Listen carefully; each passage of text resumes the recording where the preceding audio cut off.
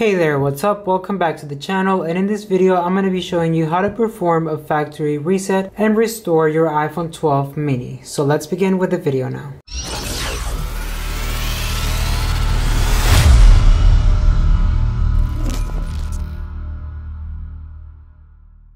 So what's up everyone, welcome back to Serg Tech, Sergio here. In this channel I do a lot of tech reviews and tutorials, so make sure you subscribe so you don't miss out on future videos like this. There's gonna be links to everything that I talk about in this video in the description down below, so do check that out. And let's get right on with the video. So the reason you may want to perform a factory reset, maybe your phone is freezing up and you can't really access to any app, maybe you want to delete everything for a trade-in or you just simply forgot your password. So the factory reset is gonna help you to get your phone on its brand new factory settings. So in order to do this, I'm going to show you two ways that you can do it. And the first one is going to be through your settings. And then the second one is going to be in case you don't know your passcode and you can't access to your settings. So for the first one, which is going to be through the settings, you're just going to enter your passcode and you're going to go to your settings. Once you're there, you're going to scroll down to general and then once again, all the way down to reset. Once you're here, you're going to see the option that is going to say erase all content and settings. You're going to select that option and here it's going to tell you that all the documents and data are going to be uploaded to iCloud in case they're erased. So you can either press finish uploading then erase or just select erase now, which is what I'm going to do. It's going to ask you to enter your passcode and as soon as you do that, it's going to give you the last warning that everything will be deleted and it's going to go back to its factory conditions. So if you're ready, just go ahead and press erase iPhone and your factory reset will begin. And now I'm going to show you how you can factory reset your iPhone 12 mini if you don't have a passcode and you can't access to your phone. So all that you're going to need in order to perform a factory reset without having the passcode on your phone, it's going to be your phone, a laptop, or a computer. It can be Mac, Windows, whatever you have at your disposal. You need to have iTunes and also a power cord, which in this case I have USB Type-C cable. And all you're going to have to do is plug it into your computer. Okay, so now we're just going to plug in the phone. And what's going to happen now, we're going to have to press volume up, volume down. And as you press the volume down, you're also going to hold the power button, which is going to take us to this menu that I'm going to show you right now. So volume up and these two buttons right here.